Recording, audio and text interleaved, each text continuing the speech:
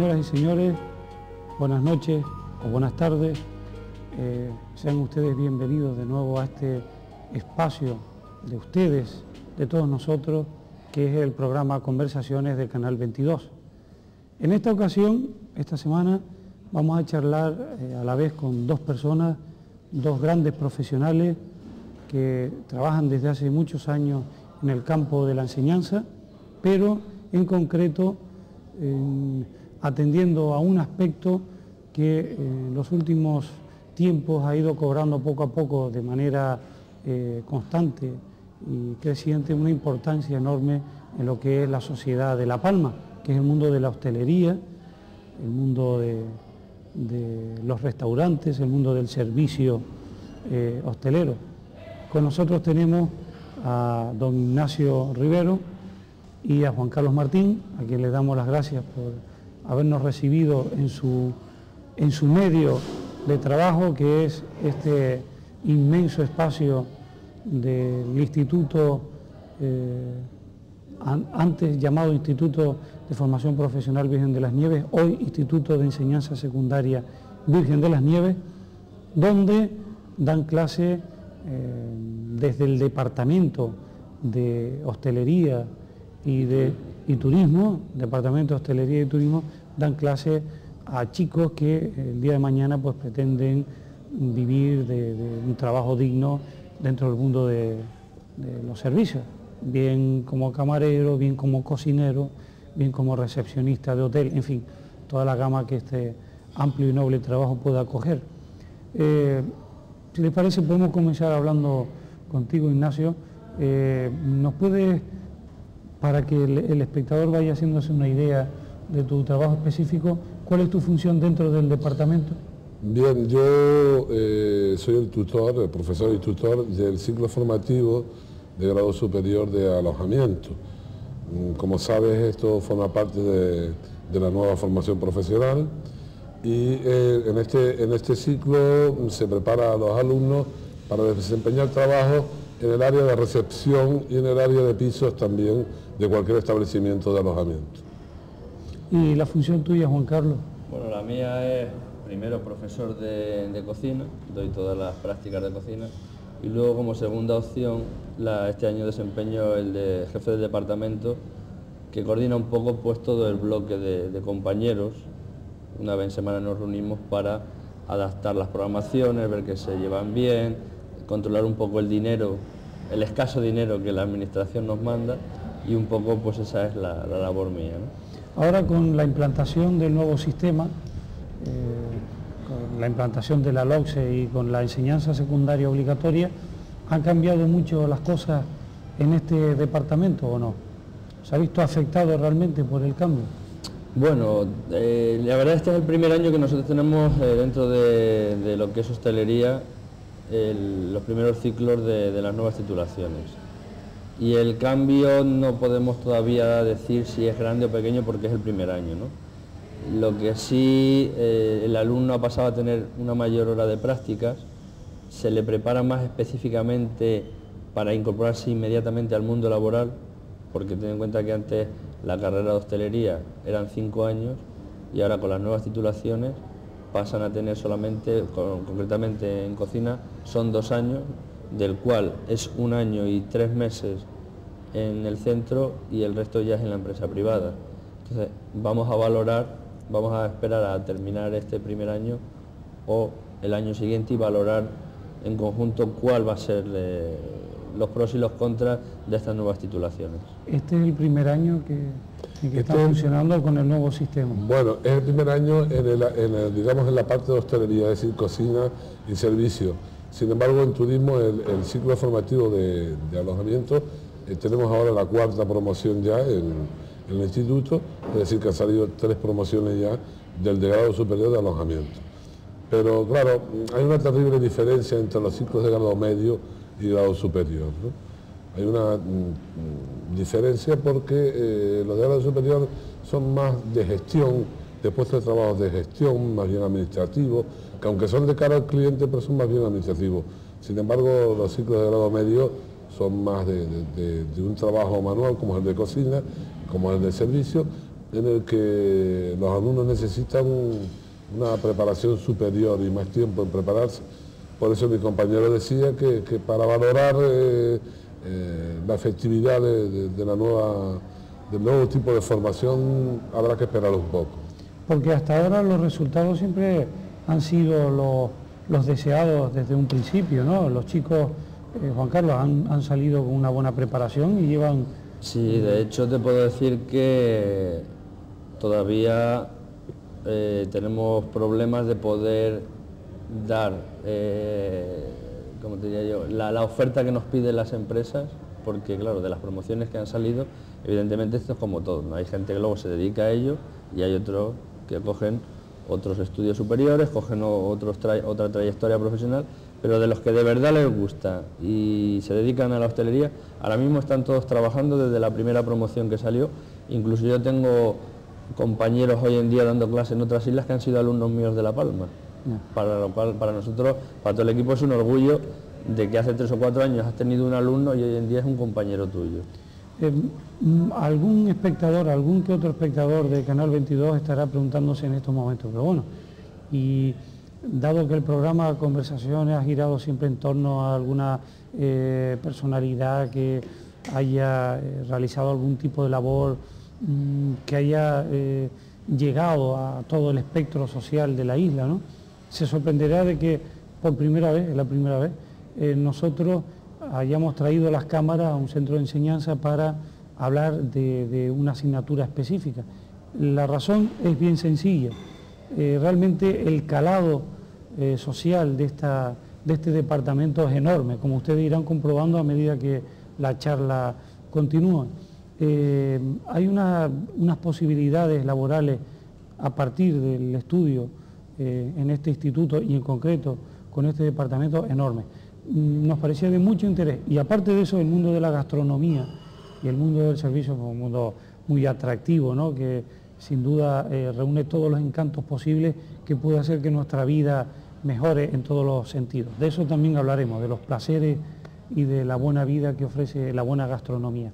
Pero sí me gustaría, Ignacio, que mm, comentara un poco si alguien, algún chico, alguna chica está viendo en este momento la tele y dice, oye, a mí me gustaría, estoy interesado en esto, me gustaría estudiar, ¿qué es lo que debe hacer para, para poder mm, apuntarse aquí bueno, matricularse? Bien, yo mm, intentaré ser lo más breve posible. Eh, como te decía antes, hay ciclos de grado medio y ciclos de grado superior. Lo del ciclo de grado medio, para acceder a ellos, eh, en este momento eh, habría que tener o ser graduado eh, en secundaria, es decir, tener la ESO terminada, o tener algún FP1 terminado, o en segundo de BUP terminado, o incluso mediante una prueba de acceso que existe especial para aquellas personas que no tengan ningún tipo de esa titulación.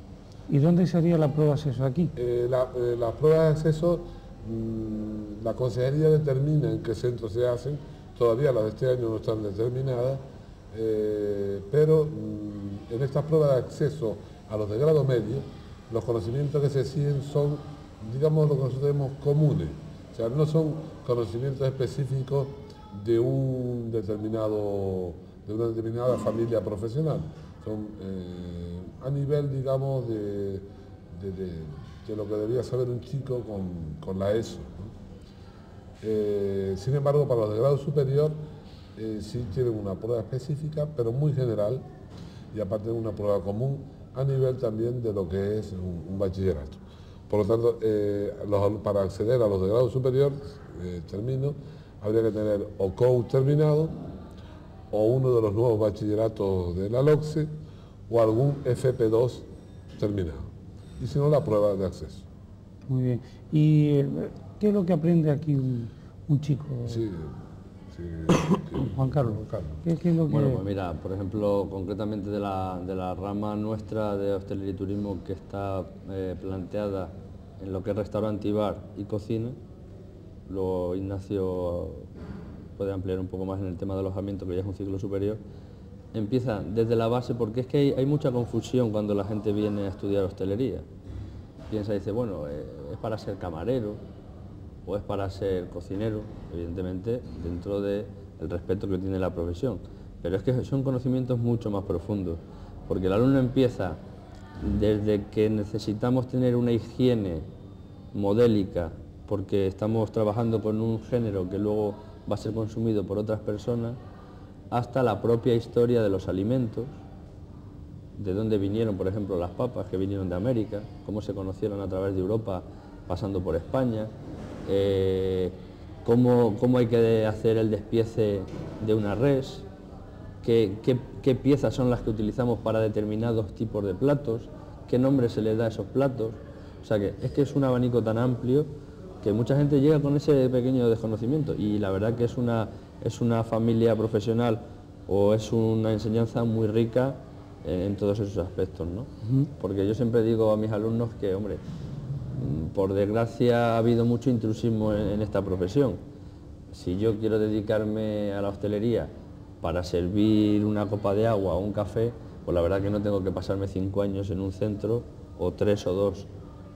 Para eso, pues mire, me voy a trabajar a cualquier sitio muy respetable, pero bueno, no voy a pasar de ser un ayudante de hostelería y poco más. A lo mejor a, través de, los años voy a llegar a coger una experiencia y un perfeccionamiento. Sin embargo, en los centros de hostelería, reconocidos a nivel mundial, porque tenemos en, el mundo entero centros prestigiosos, desde Suiza a la Escuela Superior de Madrid, la Escuela de Lausanne, etc., el alumno que sale preparado de aquí sale con una titulación que le capacita para dirigir un establecimiento, dirigir una brigada con la dificultad que se supone el tener que mandar a otras personas en el mundo laboral, o ser tu propio em, o ser tú mismo el propio empresario.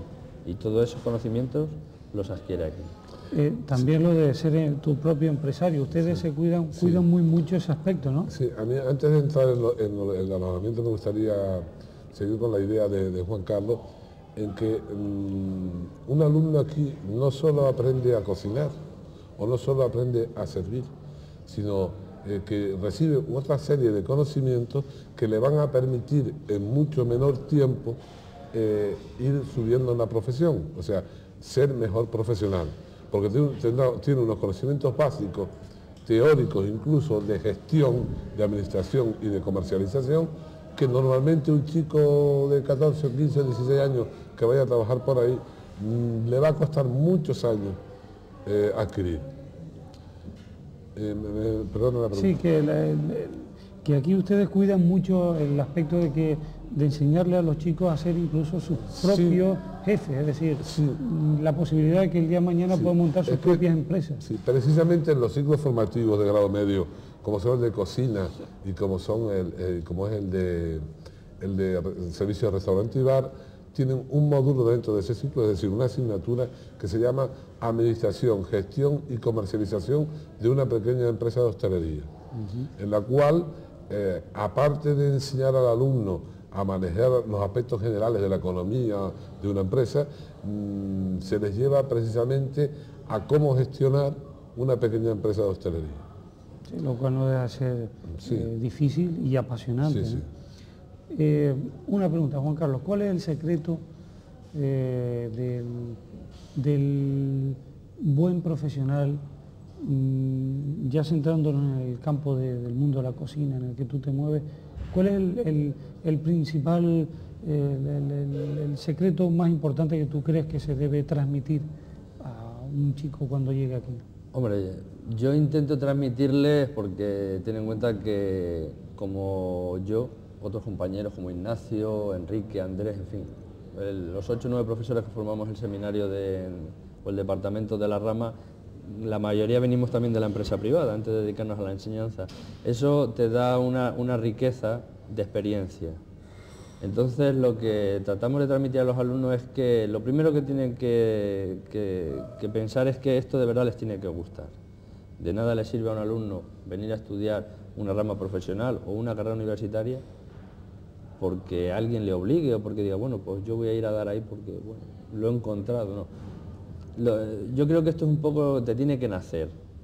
Y si no te nace, porque a todo el mundo te nace, una vez que estás dentro te tiene que gustar, te tiene que apasionar, eh, tienes que tener eh, cierta, cierta ternura hacia, hacia la hostelería. Ten en cuenta que estamos hablando de una profesión de servicio, de atención al público, y que lo mismo vas a atender a, la persona que está trabajando de panadero en la esquina de tu barrio que a un ministro. Entonces, todos tienen la misma categoría personal y humana, unos con unos cargos. Y entonces eso te va a enriquecer mucho, pero claro, eso lo tienes que sentir. Eh, es una profesión que no tiene, que no tiene horarios, que no tiene decir, bueno, pues yo tengo mi hora de trabajo, ocho horitas, me voy a mi casa. Es una eh, profesión muy sacrificada, pero muy enriquecedora y que se puede llegar a ganar mucho dinero. Que hoy en día, por desgracia, prima mucho el tema, el tema del dinero y si uno gana más y gana menos. Pero la realidad es que te tiene que gustar, te tiene que apasionar y tienes que disfrutar con ello, como me imagino que en cualquier otra profesión, pero bueno, esta es la que yo conozco. Y si te apasiona, no vas a tener ningún problema. Y si vas a disfrutar con ella. Yo disfruto eh, haciendo unos simples huevos fritos como preparando el, plato más exquisito o, más suculento que podamos encontrar en una carta. Después pasaremos, entraremos en materia ¿eh? y hablaremos un poco de eso, del mundo de la preparación de los platos.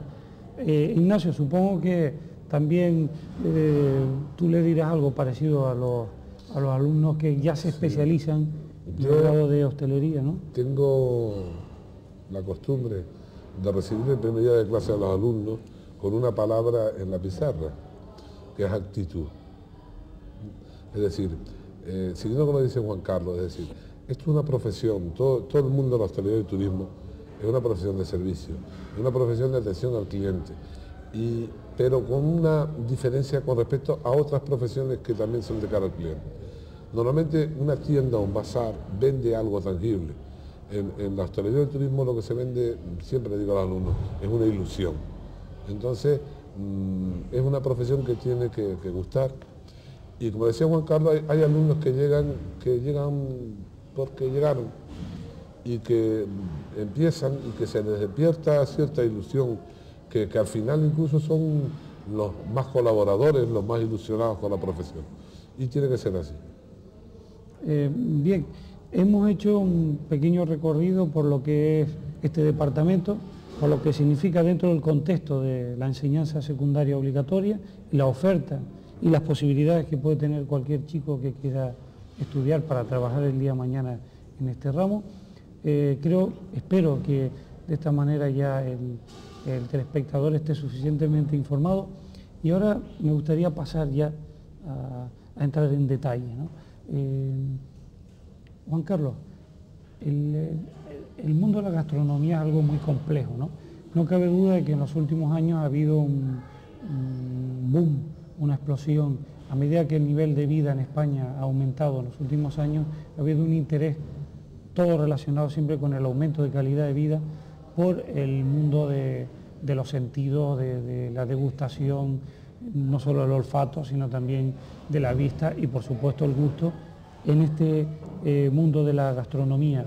Em, se puede decir que en los últimos años eh, ese sibaritismo creciente en el más común de los mortales eh, se ha ido llegando a filtrar a este campo de la enseñanza, hasta el punto que ustedes son conscientes de que hay que ser más exigentes. Sí, evidentemente, estamos hablando, aparte de una gran profesión, tan antigua como la propia vida, podemos decir, porque incluso podemos encontrar pasajes en la Biblia que habla ya de cierto modo de hostelería en, las épocas romanas y en lo mismo, o sea, estamos hablando de una profesión muy vieja, no es una profesión que hayamos descubierto hace cuatro días.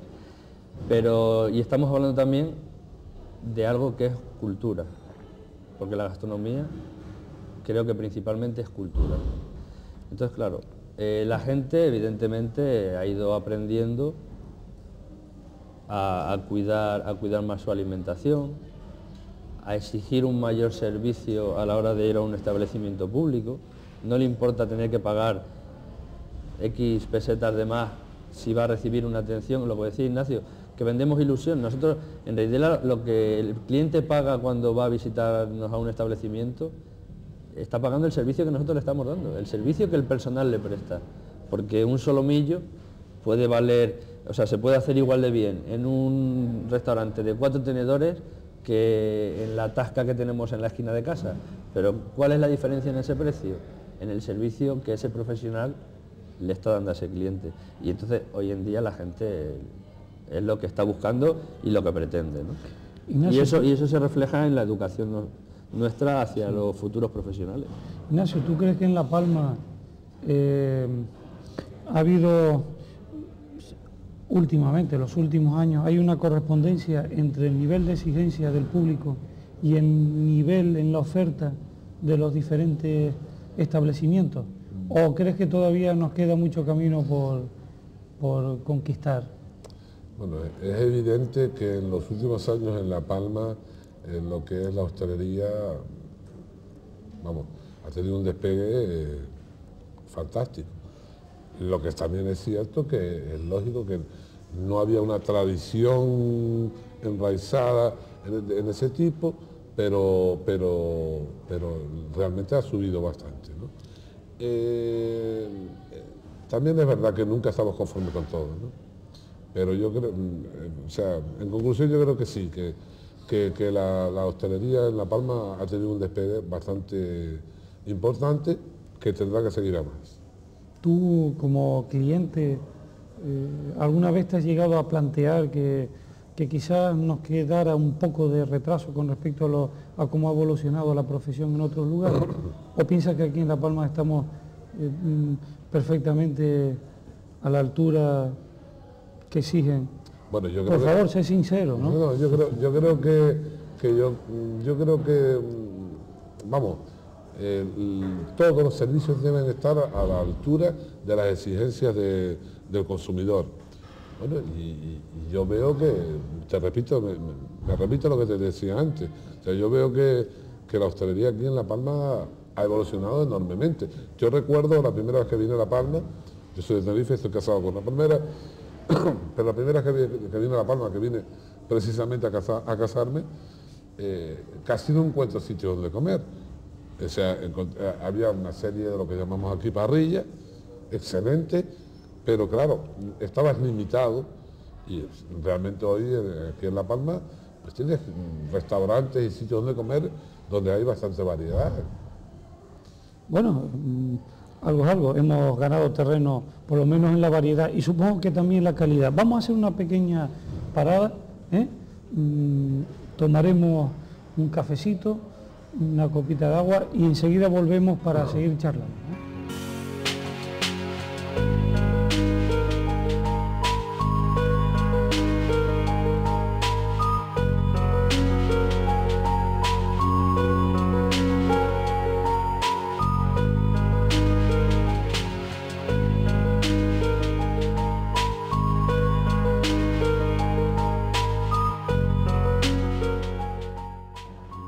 Ignacio Rivero y Juan Carlos Martín nos acompañan hoy en el programa Conversaciones para hablarnos no solo de lo que es el mundo de este mundo de la enseñanza en el Instituto Virgen de las Nieves, donde imparten clases en el ramo de hostelería y de servicios, sino también para hablarnos un poco ya entrando en materia del mundo de la gastronomía, del mundo del servicio, del mundo de la buena comida y de la buena bebida.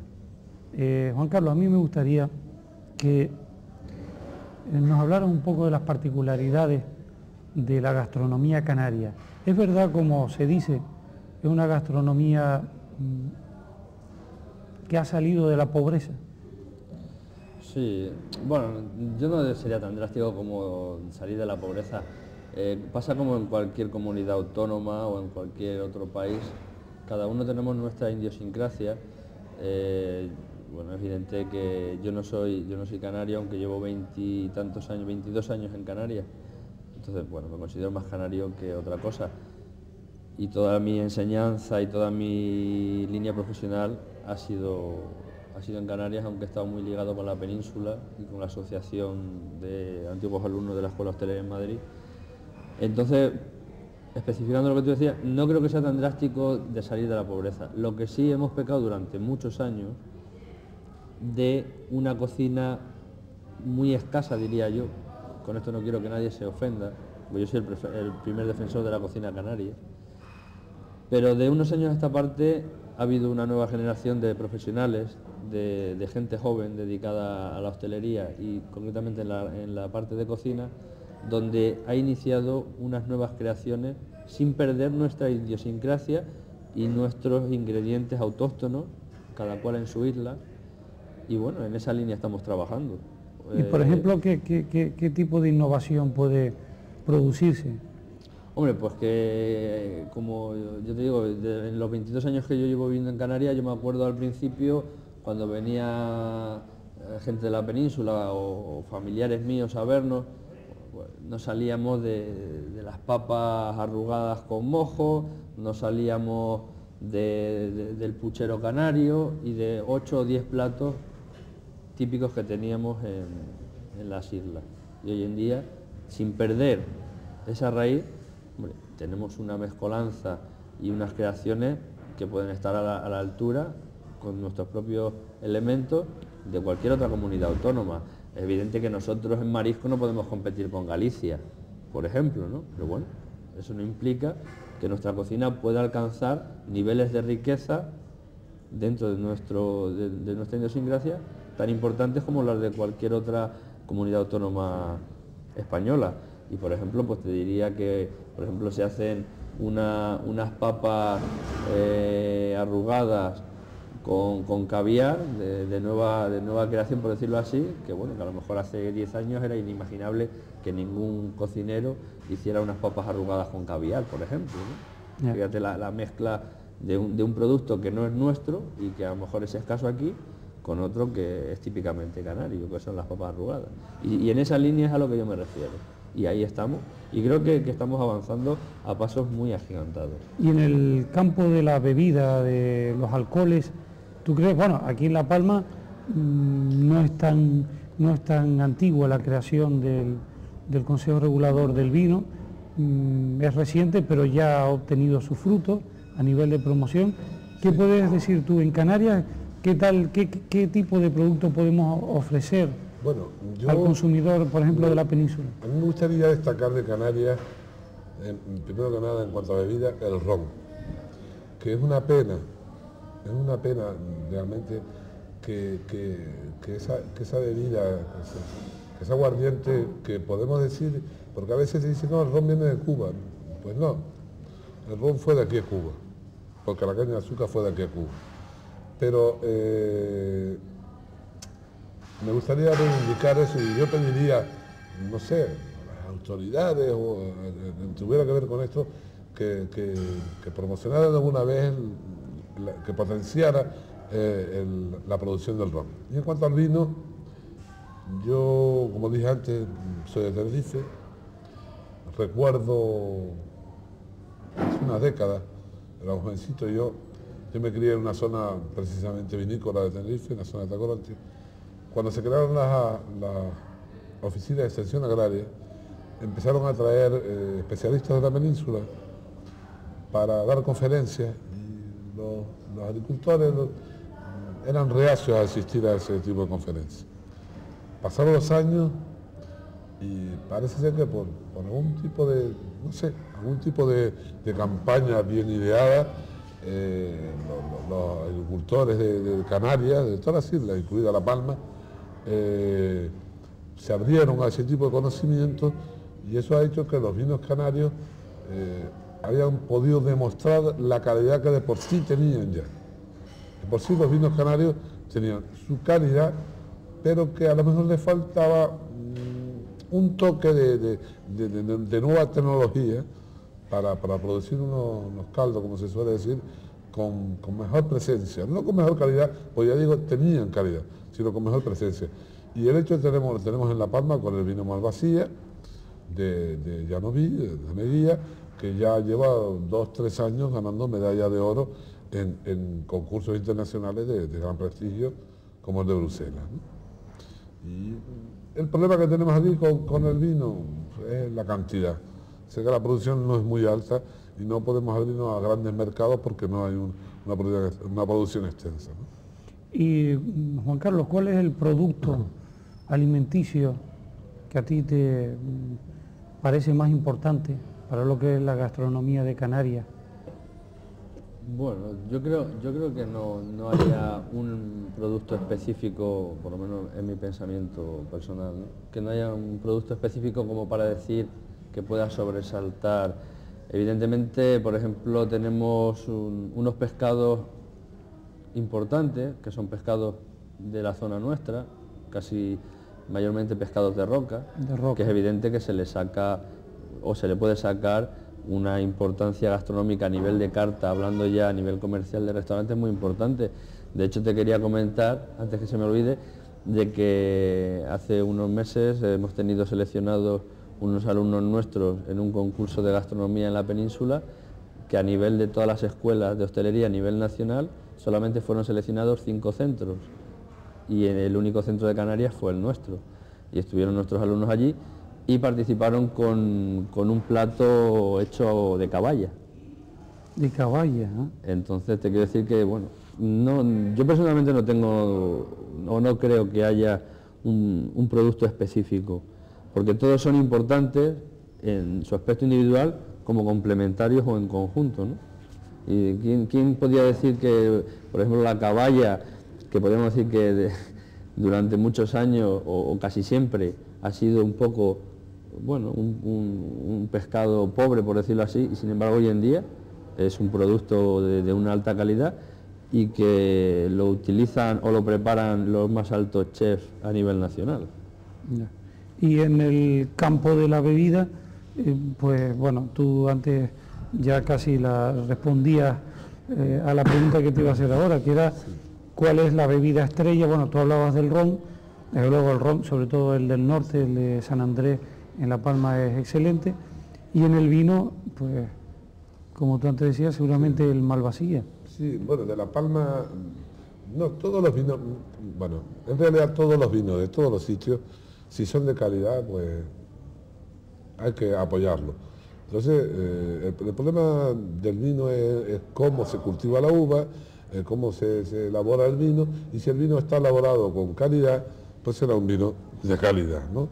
Entonces, eh, tenemos que decir que los vinos de La Palma son, bajo mi punto de vista, de excelente calidad, y vuelvo a repetir, lo demuestran los premios.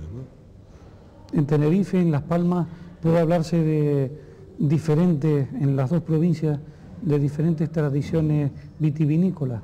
Bueno, yo creo que las, quizás debido por el clima, por la orografía, la, provincia de, Santa Cruz de Tenerife, la provincia de Tenerife, ha sido siempre más productora de, de vino que la, que la provincia de Las Palmas. En la provincia de Las Palmas podemos hablar de los vinos de Lanzarote, que son también de muy buena calidad, y ahora se están potenciando una zona de Gran Canaria que se llama Montes del Tiscal, pero que la producción es bastante corta, ¿no? pero no más. Sin embargo, la provincia de, la provincia de, repito, la provincia nuestra, eh, todas las islas producen vino. Yo considero que en todas las islas eh, son vinos de calidad y, como repito, se han mejorado últimamente, pues mucho. En Tenerife hay como 6 o 7 denominaciones de orígenes diferentes.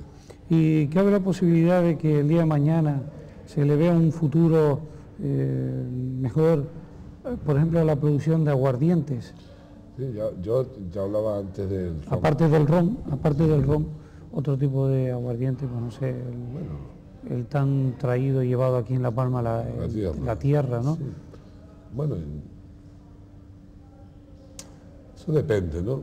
Depende. Mm, yo Yo creo que también tiene que haber iniciativas, eh, que las iniciativas estén de alguna forma apoyadas por las autoridades. Como me refería con el ron, pues podría ocurrir también con aguardientes de ese tipo, ¿no? Y esta escuela no se ha planteado ser un poco punta de lanza a la hora de pinchar a las autoridades eh, a las que sea pertinente pinchar para que salgan iniciativas de estas. Puede ser que en el futuro eh, lo hagamos, es que hasta, el- hasta el presente hemos tenido bastante con, con conseguir que, que- las autoridades se acordaran de nosotros. Ten en cuenta, yo creo que tú sabes que estas instalaciones de las que hoy creo que podemos presumir son nuevas de este año, pero que hemos estado muchos años luchando para que la- las autoridades eh, competentes en el caso nos hicieron unas nuevas instalaciones. Ahora las tenemos, gracias a Dios, se han portado bien con nosotros esperemos que ahora podamos, mm, podamos llevar nuestras fuerzas hacia reivindicaciones como la que tú planteas. Bueno, pues queda aquí planteado, queda aquí, no sé, hay testigos de que ustedes, mm, y lo esperamos de todo corazón, que ustedes el día de mañana pues también pugnen porque la calidad eh, pues se mantenga en alza, que eh, todo esto vaya mejorando y, que las autoridades se mojen más en, alternativas, porque estamos hablando de alternativas económicas que darían puestos de trabajo nuevos, ¿no? Alternativas económicas que hay que pensar que, bueno, con esto de la OCM del plátano, pues sí, supongo se arreglará, pero no cabe duda que, algo se perderá, eh, que el turismo hay que darle más entrada, con el modelo que sea, con el modelo que sea, con el modelo que queramos los palmeros, porque yo, aunque no soy palmero, me considero de aquí. Vivo aquí, tengo mi casa aquí, tengo mi trabajo aquí, tengo mi mujer aquí, entonces eh, me considero la palma. Con el modelo que los palmeros queramos, con el turismo sostenible, con el turismo de medianía, con el turismo que queramos, pero eh, hay que abrir las puertas, es un mercado eh, importante y esa iniciativa, claro, digamos en el ramo que a nosotros nos, interesa, que es el ramo de la gastronomía, etcétera, pues hay que, hay que potenciar nuestros productos para que se consuman nuestros productos y creo que ahí las autoridades tienen mucho que decir. Eh, Juan Carlos, volvamos al, campo de la gastronomía. Eh, ¿Cuál es el plato que más te gusta cocinar? ¿O no existe un plato eh, favorito para un cocinero, sino que el momento indica, indica un poco cuál debe ser el plato a yo Creo que es eso último que has dicho, ¿no? depende del momento, implica un poco la creación, porque fíjate que pongo la palabra creación, ¿no? Eh, la cocina eh, tiene que es mucho, tienes que tener mucha sensibilidad, tienes que tener a veces imaginación para poder crear. Lo que pasa es que bueno, eh, dentro del, sistema de la enseñanza, por desgracia, nosotros perdemos muchas veces esa parte de creación, no de sensibilidad, pero sí de creación que, que pudiéramos tener a lo mejor en una empresa privada. Primero, porque no carecemos de presupuestos Segundo, nos tenemos que ceñir a unas programaciones oficiales donde el alumno sabe que tiene que aprender una serie de cosas para poderse graduar, para poderse titular dentro de la rama, aunque dentro de eso nosotros intentamos hacer un poco de, esa creación personal de cada profesor. De hecho, sabes que tenemos abierto el comedor tres veces en semana. a la gente de... me gustaría que diera esa información, que quizá mucha gente la desconozca, ¿no? Sí, bueno, nosotros desde hace ya unos años, desde que se implantó concretamente el segundo grado en La Palma, venimos abriendo el restaurante al público, pues como cualquier restaurante de, la calle. Lo único que no tenemos un ánimo de lucro porque no somos una empresa privada. ¿Qué pasa con estas prácticas? ¿Pero todos los días de la semana abren? Solo, ahora este año tenemos tres días en semana, miércoles, jueves y viernes. Entonces, lo que nosotros conseguimos con esto es darle una utilidad a esos productos que elaboramos y que el gasto que nosotros generamos en esos productos, que evidentemente hay que gastarlo, bueno, a unos precios que no son nada competitivos, porque ya te digo que no somos una empresa privada, vuelve a reinvertirse otra vez en la práctica de los alumnos, porque desgraciadamente por los presupuestos que nosotros manejamos de, de nuestra querida consejería de educación, entre comillas, lo de nuestra querida. Entre comillas, querida, no lo de consejería. Pues eh, nosotros, si no tuviéramos funcionando el restaurante, o de vez en cuando realizáramos algún tipo de evento, de servicio que nos suelen pedir, como puede ser cenas, bautizos o algún tipo de banquete, que si lo damos aquí en el centro, nosotros llegaría al segundo trimestre, eh, más o menos febrero marzo, y tendríamos que cerrar las prácticas de nuestros alumnos por falta de medios económicos. Tendríamos que dedicarnos a una enseñanza teórica donde al alumno le dirías, pues mira, eh, las piezas de la res se dividen en tantas piezas, de cada pieza podemos sacar filetes, podemos sacar para hacer estofados, pero eso no lo verían en la práctica, que es lo que hacen, ¿no? Verlo en la teoría y verlo en la práctica. Al faltarnos ese dinero, evidentemente en la práctica no se puede hacer. Y en la práctica los alumnos ¿En qué terreno se mueven mejor? ¿En el de la repostería en el de la elaboración de primeros platos, segundos platos. Bueno, se, mueven bien en todos. Evidente que la, panadería, pastelería mm, tiene ese chip especial para el alumno, sobre todo en la primera etapa, de la golosina, del dulce. Luego ya no tiene, no tiene una grande preferencia. Lo que sí ahora ha cambiado un poco la titulación con las nuevas enseñanzas, porque dentro de lo que denominamos la FP reglada o FP antigua ya, porque ya está desapareciendo, la formación era un poco en conjunto. De hecho, nuestros alumnos, al ser el título, la denominación técnico especialista en hostelería, pues tocaba, durante los primeros años tocaba restaurante y bar, tocaba cocina, dentro de cocina las distintas partidas, salsero, cuarto frío, pastelería y panadería, y luego el último año se especializaba en lo que más le gustaba, bien restaurante bar o bien en cocina. Y ahora con las nuevas titulaciones eso ya ha cambiado. Ahora hay una titulación específica de cocina, hay una titulación específica de restaurante y bar y hay una titulación específica de panadería y pastelería. Por lo tanto ahora lo han separado y el alumno que quiera evidentemente formarse en todo ese abanico tan amplio de este campo podrá hacerlo. A medida que vaya acabando unos estudios, podrá ir matriculándose en otro y haciéndolo. Pero ahora mismo eso ya se ha, dividido y no era como antes, donde lo englobabas un poco en el, campo todo. ¿Qué, va a ser mejor? Lo de, lo de antes, lo de ahora, te voy a decir lo de al principio de, esta charla tan, tan agradable. Vamos a esperar a ver la experiencia, pues claro, ahora el alumno se va a especificar, eh, perdón, se va a especializar mucho más en un solo campo. Claro, la persona que hace eh, el título de cocina tendrá unas nociones muy básicas de panadería y pastelería. Hombre, sabrá hacer un bizcocho, sabrá hacer un pan común, pero bueno, de un poco más que eso.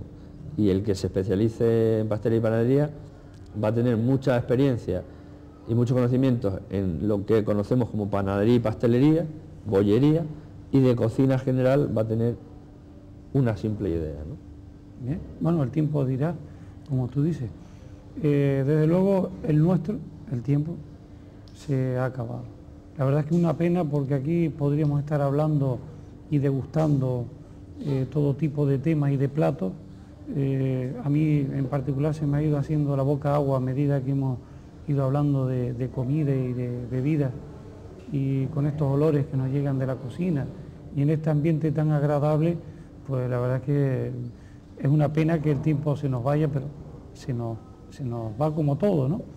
Así que solo me resta darles las gracias, eh, desearles todo tipo de, felices, eh, vamos, que tengan un feliz devenir eh, en la escuela, que sigan teniendo éxito como esa eh, selección triunfal, diría yo, de dos alumnos representando, los únicos de Canarias que fueron un certamen mm. nacional, que esta escuela siga dejando el pabellón alto, de, mm, como desde hace años ha venido siendo habitual aquí, desde el Instituto Virgen de las Nieves, y ustedes como profesionales, como docentes y como, como grandes especialistas en sus respectivas materias, pues que sigan siendo lo que han sido hasta ahora, unos magnífico, un magnífico bocinero y un magnífico relaciones públicas, que me olvidé de emplear esta palabra y yo creo es fundamental en lo que es este mundo, ¿no? el de relaciones públicas. Sí, bueno, eso cuando hablaba yo precisamente antes de lo de,